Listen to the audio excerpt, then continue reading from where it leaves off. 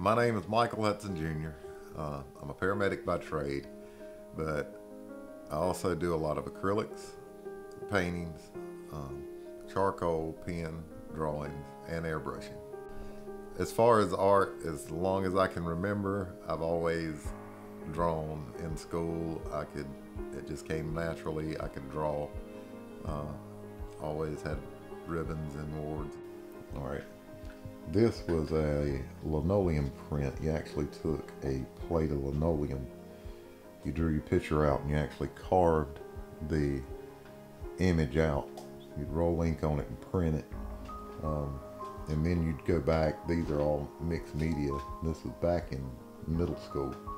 Like this one has, uh, you can tell it's uh, colored pencil. That one's watercolor.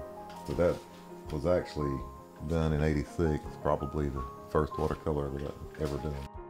Being creative to me is, I mean, expressing yourself in the painting. You see, you see something and you're putting not just what you see on the canvas, but also part of you.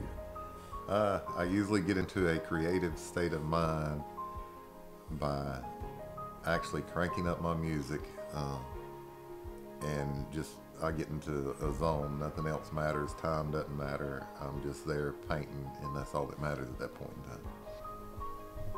The most favorite piece of art that I've created has to be the custom Harley that I painted.